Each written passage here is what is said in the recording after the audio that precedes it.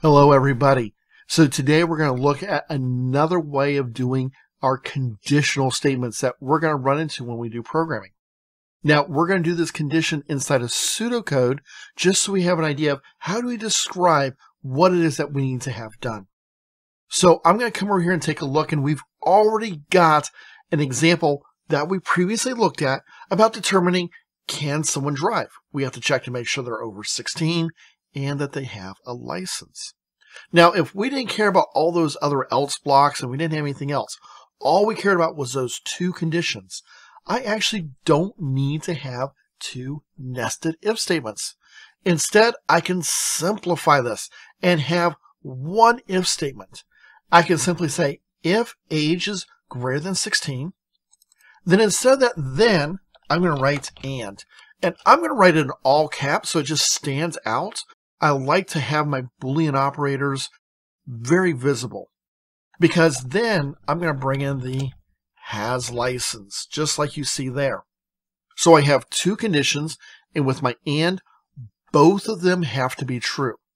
Now, once I've done that, I only need to indent one time.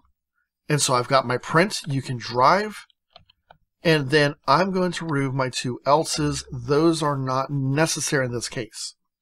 I can't test if one condition is false. It's only a global. Are both true? If they're both true, then they're true.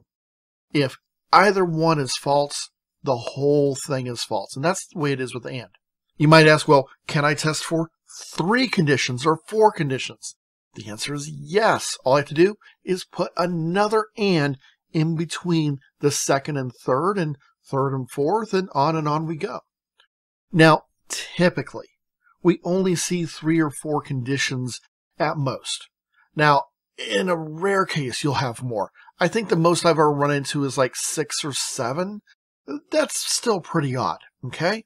Typically, we just see a couple if we have it at all. And that's how we do it. Now, you might be asking, well, wait a second. What happens if I only need one of those conditions to be true? Well, instead of and, I could use or.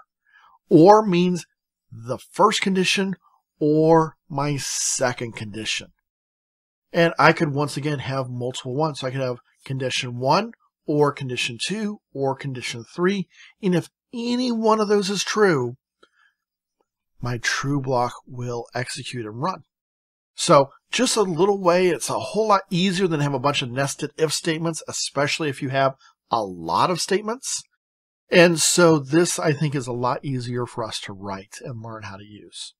Hopefully this example was helpful for you in writing your conditional statements in pseudocode. If so, you also might want to check out our next video, which is what do you do when you have a sequence of statements that you want to check out for. So watch that video, it's coming up, and I'll see you there.